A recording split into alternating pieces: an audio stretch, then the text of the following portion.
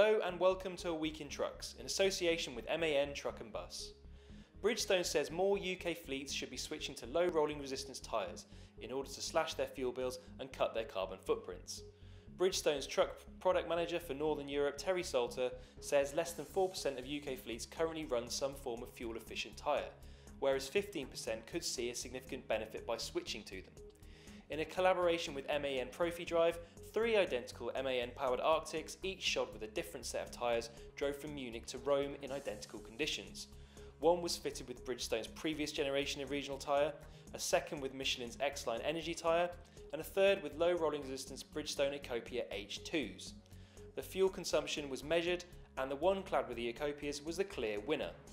From these results, Bridgestone then concluded the 40 ton artic covering 130,000 kilometres per annum and running on Ecopia tyres would consume 741 euros less fuel than an identical truck fitted with Michelin X-Line Energy tyres.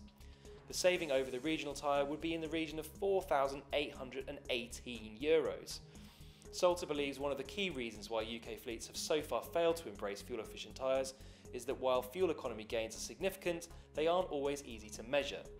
In contrast, the higher upfront purchase price of energy tyres and their worse wear characteristics are easily quantified.